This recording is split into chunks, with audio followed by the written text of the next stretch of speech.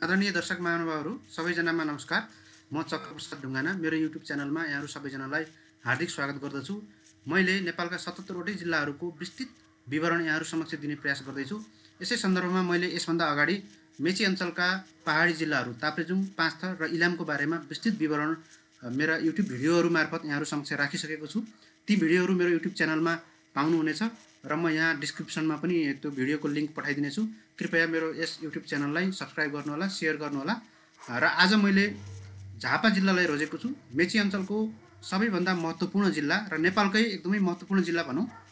झापा जिल्लाबाट लोकसेवा आयोगमा सोध्न सक्ने सम्भावित प्रश्नहरूलाई मैले सम्पूर्ण रूपमा समाधान गर्ने प्रयास यहाँहरू समक्ष गरेको छु। त्यसैले साथीहरू आउनुहोस् झापा जिल्लाको बारेमा समग्र रूपमा चर्चा गरौँ। सबैभन्दा पहिला झापा जिल्लाको सामान्य परिचयतर्फ लागौँ। झापा जिल्ला नेपालका चारवटा कुनामा रहेका जिल्लाहरूमध्ये एक जिल्ला हो जस्तो पूर्वमा ताप्लेजुङ र झापा।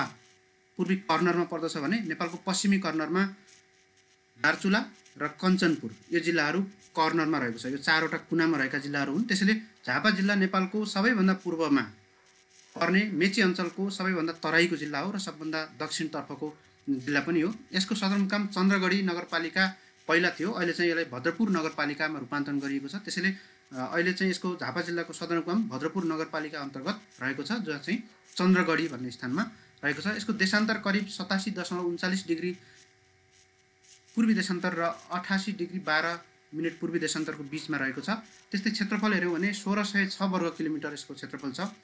औसत लम्बाइ पूर्व पश्चिमतर्फ हेर्ने हो भने करिब छयालिस किलोमिटरको लम्बाइ पूर्व पश्चिम रहेको छ र उत्तर दक्षिणतर्फको औसत चौडाइको बारेमा हामीले हेऱ्यौँ भने करिब उन्तिस किलोमिटर उत्तर दक्षिण चौडाइ रहेको छ।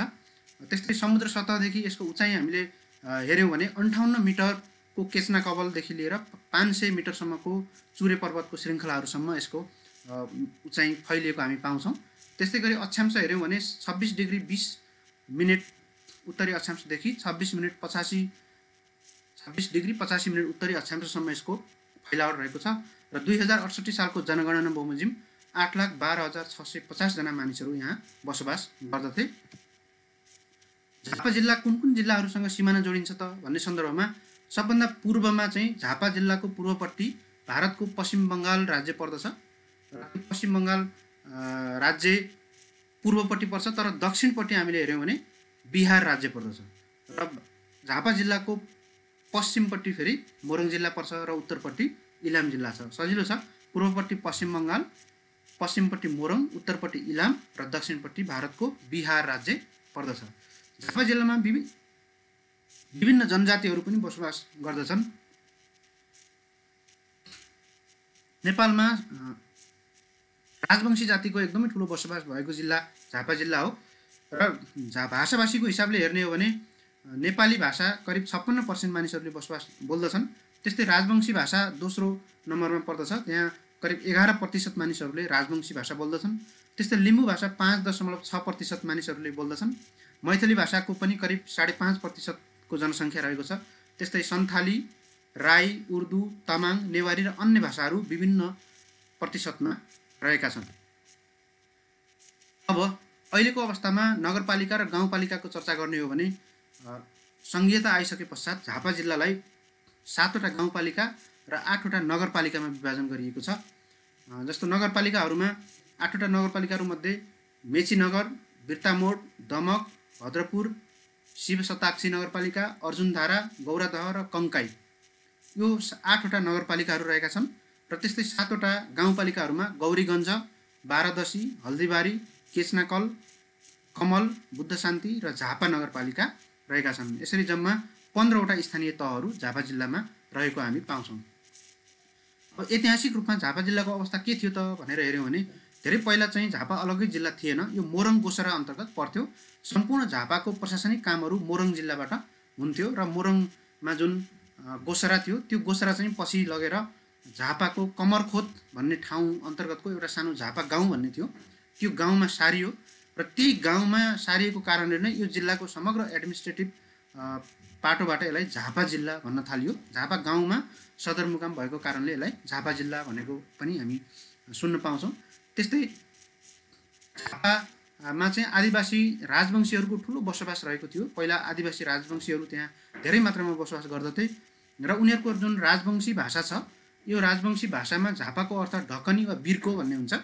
र यो शताब्दीौँदेखि यस क्षेत्रलाई ठुलो वन जङ्गलले चौकोस चारकोसे झाडीले ढाकेर आएको हुँदा त्यहाँ जुन बसोबास गर्थे राजवंशीहरू तिनीहरूले यस क्षेत्रलाई वन जङ्गलको ढकनी भनेर भन्थे अथवा झापा भन्थे। त्यसैको नामबाट नै कालान्तरमा गएर झापा जिल्लाको नामाकरण भएको हामी पाउँछौँ र झापा जिल्ला नेपालको इतिहासमा अत्यन्त ऐतिहासिक जिल्लाको रूपमा रहेको हामी पाउँछौँ। खास गरिकन दुई हजार उन्तिस सालमा तत्कालीन नेकपा मालेको नेतृत्व सिपी मैनालीले गरिराख्नु भएको थियो। उहाँको नेतृत्वमा अहिलेको वर्तमान प्रधानमन्त्री केपी शर्मा ओली समेतका कैयन अन्य कम्युनिस्ट नेताहरूले झापामा ठुलो आन्दोलन झापा विद्रोह गर्नुभएको थियो। त्यही विद्रोहको जगमा नेपालमा कम्युनिस्ट आन्दोलन अहिलेको उचाइमा आएको हामी देख्न सक्छौँ र अहिलेको जति पनि कम्युनिस्ट मुभमेन्टको जग छ त्यो जग चाहिँ वास्तवमा दुई हजार उन्तिस सालको झापा विद्रोहले राखेको थियो र त्यही जगको आधारमा नै कम्युनिस्ट नेताहरू कम्युनिस्ट आइडियोलोजीहरू र कम्युनिस्ट सत्तामा जान सकेको अवस्था पनि हामी देख्न सक्छौँ। त्यसैले झापाको कम्युनिस्ट इतिहासमा अत्यन्त ठुलो महत्त्व रहेको हामी पाउँछौँ। अब पूर्वाधारतर्फ नजर नजर नजर लगाउने हो भने झापा जिल्लामा नेपालकै एकदम सोफिस्टिकेटेड सडक सञ्जालदेखि विमानस्थलहरूसम्म रहेका छन्। त्यसैले यो अत्यन्त सुगम जिल्लाको रूपमा रहेको हामी पाउँछौँ। झापामा एउटा विमानस्थल छ चन्द्रगढी विमानस्थल जुन चाहिँ भद्रपुर नगरपालिका अन्तर्गत पर्दछ।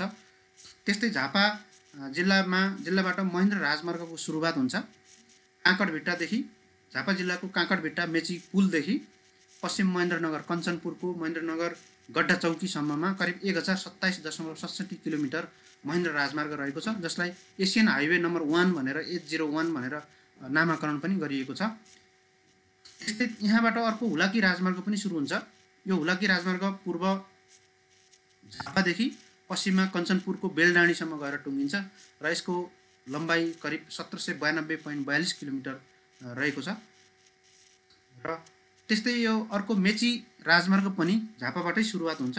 यो दुई सय अडसट्ठी किलोमिटरको मेची राजमार्ग झापाको केचनादेखि सुरु भएर ताप्लेजुङको घरिलासम्म पुग्दछ र मेची अञ्चलका सम्पूर्ण जिल्लाहरूलाई ताप्लेजुङ पाँचथर इलाम र झापा जिल्लालाई समेट्ने भएकोले यसलाई हामीले मेची राजमार्ग भनेर भन्दछौँ। अब झापा जिल्लामा रहेका नदी ताल तलैया पोखरीहरू के के छन् त भन्दा झापा जिल्लामा रहेका महत्त्वपूर्ण नदीहरूमा जस्तो कन्काई रतुवा कमल निन्दा मेची माई खोला बिरिङ र मावा नदीहरू त्यहाँका मुख्य नदीहरूको रूपमा रहेको हामी पाउँछौँ। त्यस्तै तालहरूमा हेऱ्यौँ भने विराट पोखरी जामुन पोखरी जामुन खाडी गौरा दह र चिलगाड दहहरू रहेका छन्। त्यस्तै महत्त्वपूर्ण पर्यटकीय गन्तव्यहरू तथा धार्मिक स्थलहरूमा झापा जिल्लामा अत्यन्त धेरै पर्यटकीय गन्तव्यहरू छन्। झापा जिल्लामा रहेका महत्त्वपूर्ण पर्यटकीय गन्तव्यहरूमा कन्काई धाम कोटीहोम धाम सतासी धाम जामुनखाडी सिमसार क्षेत्र किच्चकबध केसना कबल विराट पोखरी समयगढ चिल्लागढ चन्द्रगढ धनुषकोटी धाम र अर्जुनधारा। यी विभिन्न पर्यटकीय गन्तव्य र धार्मिक स्थलहरूले झापा जिल्ला झापा जिल्ला सुशासित भएको हामी पाउँछौँ।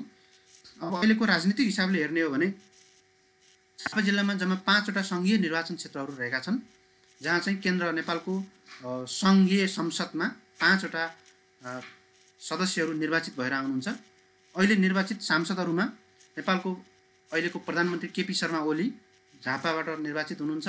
त्यस्तै सुरेन्द्र कुमार कार्की पवित्र निरौला राजेन्द्र प्रसाद लिङ्गदेल र लाल प्रसाद सामा लिम्बू। यी पाँचजना प्रतिनिधि सभा सांसदहरू झापा जिल्लाको सङ्घीय निर्वाचन क्षेत्रहरूबाट निर्वाचनमा निर्वाचित भएर आउनुभएको छ।